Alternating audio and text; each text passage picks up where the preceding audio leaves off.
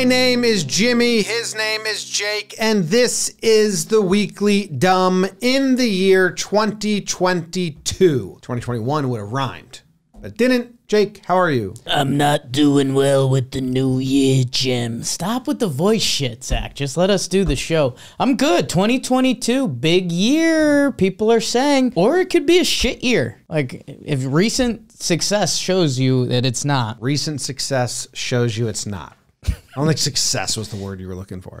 we'll be back 6 p.m. tonight. Nightly news. Jim, new year, new you, new me, new me. New New me. me. New new Noom. me. Healthy.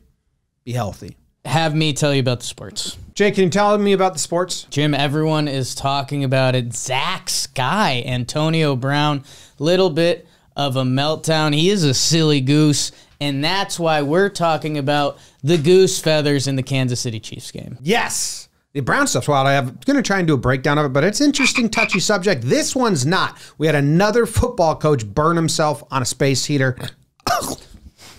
No, uh, we are officially a burn pod, and it's a solo show now. That's some New Year stuff for you. Oh my goodness! I think I just manifested a frog in your throat. I just did my frog thing, and then you just went full ribbit on us. I did ribbit. Play it back. Yeah, so we had another coach stand next to a space heater and lit himself on fire. This one's a little different than the pants, which Harbaugh did. This is his jacket, so you can understand how he didn't feel it. More depth. But he burnt the shit out of his jacket. Yeah. Feathers everywhere. Anytime there's feathers, we like a good spill. Yes. I, I want I want people People start burning themselves more. Uh, on the sidelines of NFL games. I take it back. Jim, speaking of people you don't like, here's almost a breakdown. Almost a breakdown today. We have the uh, Royal Guard trampling a child. The Royal Guard used to be a very real thing. Now they're just kind of like a tourist attraction, but no one told them they're not a real thing anymore. So they're marching around protecting the royal family. Also, not a real thing anymore. Basically a farce. It's just a farce. Yeah. But there's a lot of people defending this, and you can see a little kid gets in the way. And I mean, you shouldn't get in the way, but little kids get in the way sometimes. The guy just screams in the most English voice, Make way! Make way! Which we have to admit that part's cool. It is That part's cool. That's a fun way to announce that. but Make running, way! running over little kids. And then he just tramples this little kid and like steps over him, like posterize him, and everyone in the crowd is like, "What?" Yeah. But then there are people supporting the royal guard. Zach, Like, put the YouTube they- comments right here, and it's actually pretty. Like everyone's like, "No, that's what the Royal Guard That's what does." they do. Like it's a serious thing. It's like no, it's not. It's not a serious thing. They wear No, stupid it's a serious hats. thing. Trampling little kids. Yeah.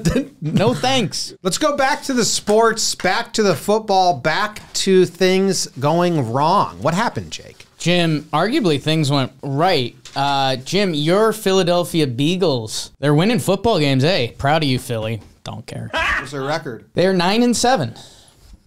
Facts only. Uh, Jalen Hurts was leaving the game. He's getting his claps. He's waving, and whammy! High five. Crowd falls. Yeah, my grandma, my great grandma used to tell me a story about this ship that was taking off uh, from the dock, and everyone ran to one side of the ship to wave goodbye to the people on land, and the ship just straight tipped over, and a lot of them died. Is that a real story or just a life re- lesson? No, it's a real story that my nana used to tell me, and she'd giggle when she told it. the equivalent in this would be if the captain of that boat took a picture with all the corpses.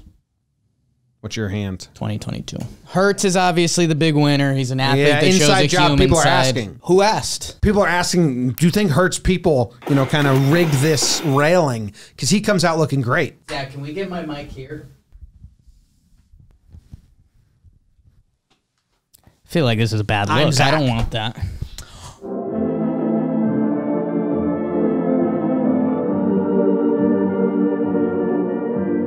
What a fucking reveal.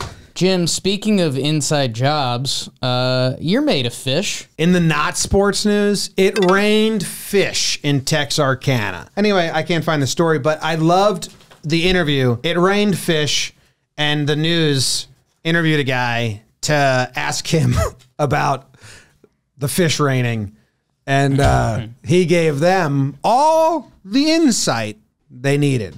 it was raining real hard and a, a, a fish hit the ground. And I said, It's raining fish. Wow. Wow. I saw a fish on the ground. I said, "It's raining fish." Wow, made the cut. How being- many interviews did it make the cut? Tough on him. He's a hundred percent. He's I'm not tough on him. The news running that as if it adds to the story. They have to share the news. So- he gave a hundred percent factual statement. Local news is hilarious. Hey, what happened here? It's raining fish. Wow. Wow. Great insight. Uh, so this happens, Jake, when there's a, there's something called a tornado. Heard of it? And there's something called a water spout. Same exact thing, but if it's over water, it's a water spout. Why don't they call them land spouts? Were tornadoes ever called land spouts? Seems like they should have been called. All the storms are the same stuff. Tsunamis or hurricanes. Like it's all the same. We just is that a fact? we let the nerds go. Like ninety percent on that. One. I mean, come on. Scientists. So anyway, the the goes over the water. And some little fish get sucked up into the vacuum. Then it goes on the land and they fall. So it can rain fish. You know what the article said? That it can rain frogs as well. Did see that. I know you saw that. Employee of Employee of the week. Should we give out the employee of the year from last year? Zach? I was gonna give it to us. Oh, I'll take it. Zach. Zach gets it. Zach, To start the new year, let's like bygones be bygones. Bygone. How good of a phrase is that? Let's let bygones Let's be let bygones. bygones be bygones. If you counted every time the word bygone was said, It's a double in the country. It's a double word. How many times do you think it was that specific sentence versus any other sentence that has the word bygone in? it? I'd say 80% of the times a human used the word bygone, it was said in let's let bygones be bygones. I might be higher. Yeah, I think it, that might be low. I've never used bygone in an. A bygone error. That's another way you could say it. Good job, Zach. Let's have a clean year, Zach. Maybe no death edits. He's so dead. Your mom's gonna be pissed. Oh, and there's blood coming out of his mouth. The employee of the week. Hmm. Do this a little a little spill like a like a baby like a baby puke of blood. Like, oh. uh, the employee of the week. I don't know who is it? We it. just did it. We gave out the employee of the year. that was last year. No employee of the week to start the week. I have three people in mind. Seems high. Maddie Mass for making the Jeopardy on Farm to Fame. Party. Rob Scirocco for doing the Mario Kart. But they both don't get it. Job, Zach. Comment below how many houses you think you've slept in in your entire life. I was trying to figure that out with my wife. We guessed it's somewhere between 500 and 700, about 10 a year, but then about 15 a year from like fourth grade to high school. you've slept in 500 houses. Did the math. Kate, you with Airbnbs? I've slept in a lot of places. Yeah. Do hotels count as houses? no, but apartments do. A, a living, like someone lives there. Like Katie and I slept in 12 in this year. And I'm like, well, shit. Yeah. If I go back, 10 times. 30 is 300 and then you figure that you probably did 15 for a bunch of years as a kid sleepovers and stuff Yeah, but you sleep over a lot of the same houses. but you just in over the course of a year it's, it's a couple especially in college comment below Comment below. That was the weekly dumb. Today's episode is brought to you by Noom. If you aren't already signed up, Noom is an app that uses a combination of psychology, technology, and human coaching to help you meet the personal health and wellness goals you would like to achieve. If you want to stick to your New Year's resolution in 2022, you can get a free Noom evaluation and a seven-day trial when you use our link at Noom.com slash Jomboy. It's a new year, it's a new you, it's a Noom dot com slash John Guy in Dunkin' today, No. drive through. No. Guy Dunkin' in the drive through No. said, "Good morning, Happy New Year." How long can that last? Well, today is the first day, to be fair. I know, but how long? The fifth. I End took of a bidet week. to the face. End of this week. Do you want to hear about it? Yeah. I thought it was that I'd never seen uh, like a full bidet. I never had full access to a bidet. So I was messing with it and I was like, well, this is cold. I thought bidets were supposed to be warm. And I was touching the sprinkling of the water and I twisted the knob thinking I was doing the heat. Full blast bidet poof, into my eye, into my face. Sometimes your fingers freak me out just a little bit. That's not a trick.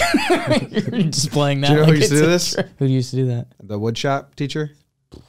That's how he explained gears to the students. Christ.